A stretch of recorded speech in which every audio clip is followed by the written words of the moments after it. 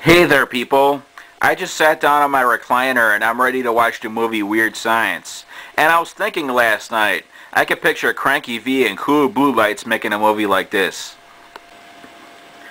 Just think for a moment, could you picture Cool Blue Lights and Cranky V with bras on their heads? And that concludes this video, bye.